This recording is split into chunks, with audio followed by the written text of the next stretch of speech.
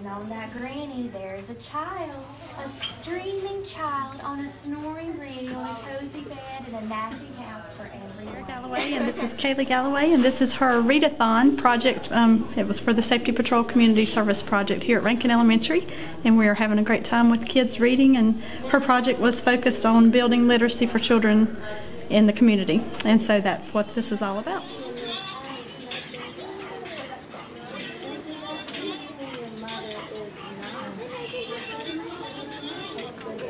Oh, that was. Okay. All right, tell me one of the things the dogs said they liked about being in the doghouse. What did they get to do there? fireplace. Jack's sitting there shaking and warming up. You look hungry. Can I get you something to eat? Oh, yeah, it'd be nice, nice. Fixed him a big old plate of food. Jack sat down and just gobbled it up. Fixed him a big old plate of cookies. He gobbled them up. Drank him two or three glasses of milk, got back by the fire.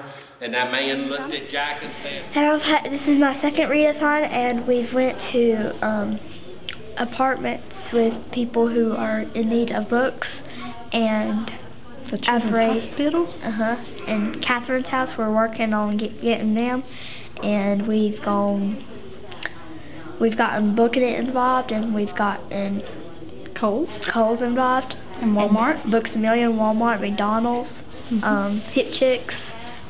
They all gave us prizes, and then I've raised ten thousand dollars with books and materials, and then three thousand books for children in need. And this past summer, we went around to a neighborhood and we got books for people who, um, like, they left them on their porch, and We had a book drive. yeah, and they.